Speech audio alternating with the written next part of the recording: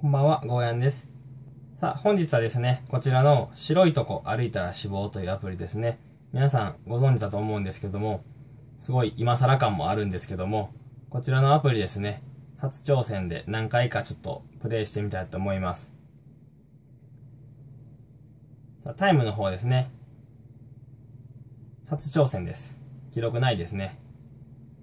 えー、白いとこ歩いたら死亡ということで、えー、黒いところを連続してタッチして、何秒でゴールできるかといったアプリとなってます。それでは早速挑戦したいと思います。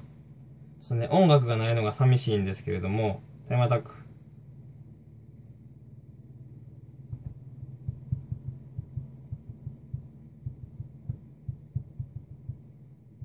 あー、アウトですね。ちょっとね、タブレットなんでやっぱやりにくいですね。もう一回行きましょう。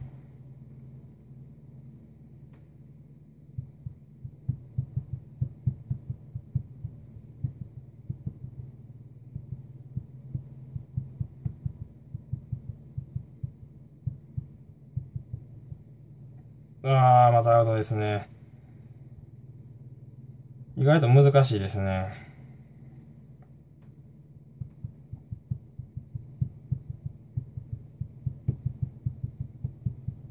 うーん、またアウトですね。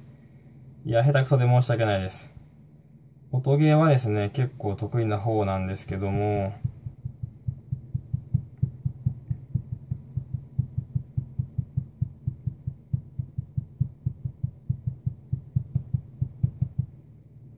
お、なんとかゴールできましたね。遅、11秒318。遅いですね。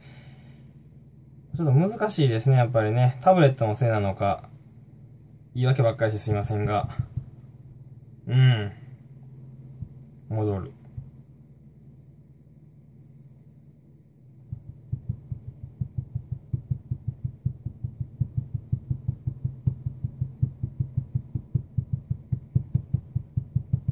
お9.850。うん。